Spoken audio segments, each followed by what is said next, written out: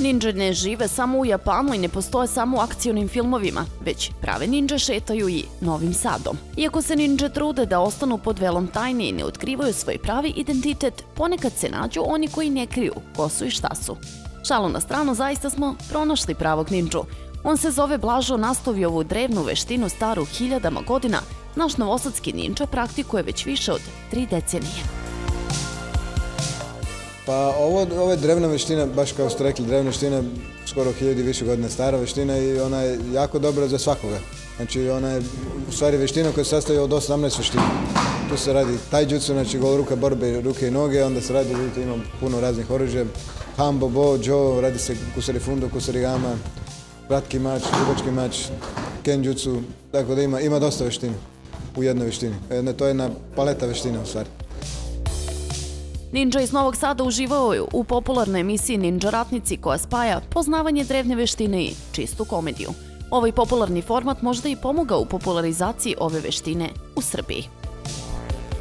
Jeste, veština ninja, da. To sigurno svi su gledali na studio B92 bilo ono Ninja Warriors i ratnici, ono, penjaju se gore dole tako da mi imamo šipke, penjamo se. Vežbamo tako, da malo izdržljivo snage samo pouzdanje da ljudi steknu da postanu pravi borci, da, da se ne plaše sebe i ostalo.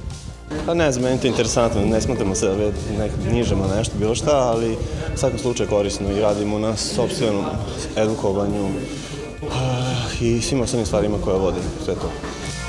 Poštovalci ninjitsu hiljadu godina stare japanske veštine ne vole da se eksponiraju i u javnosti predstavljaju kao ninđe.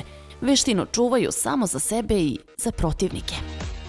Pa uglavnom ne prezentujemo se svuda okolo, ali tu smo svi da treniramo, da se družimo na treningu i van treninga, tako da sve najbolje.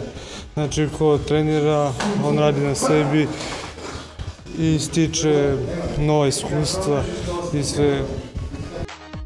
Simpatičnog Blažu ninjitsu veština odvela je u srce cele priče, tamo gde je sve i počelo, u daleki Japan. Pa ja ovu veštinu trenujem 32 godine. Išao sam u Japanu sedam puta, išao sam kod učitelja Sensei Masaki Katsumi. On je, dok je bio mlađi pre, tako mojim godinama, on je putovao po Evropi, dolazio tu, išao po Italiji, Holandiji, Nemačku, Francusku, tako da kada je dolazio tu ja sam išao tamo, a sad, pošto on je malo stariji, ima, čovjek ima 87 godina, ali trenira i dalje, tako da i mislim da je jako dobro da se nastavi dalje da se trenira veština. Mladi novosadski ninja majstori sasvim slučajno došli su na ideju da izučavaju japansku veštinu, borbe, strategije i gerilskog ratovanja. E, po početku sasvim slučajno. Sa prijateljem sam sam došao koji je već bio trenirao, među vremenom on odustao. Ja sam ostao, sad već deveta godina, možda deseta i nastavljamo dalje, učimo svakim danom i to je to. Pa, e, ja sam došao s jednim drugom. E, na e, prvi trening koji sam gledao, sljedeći trening sam se upisao evo tu sam dan danas, šest i pol godina. U ovoj štini što više treniram se mi se više i više dopada. Ninjitsu se uči čitav život a za zagrevanje i za vraćanje u formu treba da izdvojite od 3 do 6 meseci.